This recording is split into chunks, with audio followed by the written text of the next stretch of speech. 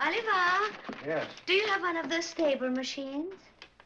A stable machine? You know, where you hit the top and it glues the two papers together but with a wire. Oh, a stapling machine. Well, what did I say? You said a stable machine. Well, what's the difference? Nothing if you're a Hungarian. Here. Thank you. What are you doing? I'm trying to bring my farm records up to date. Oh, boy. You have a big holes in your toes. Oh, yeah.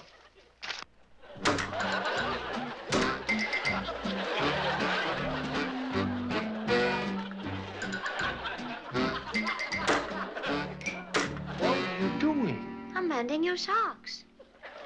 With a stapling machine? Well, I don't know how to sew. Would you mind telling me how you expect me to put that sock on? You never learned how to put on socks?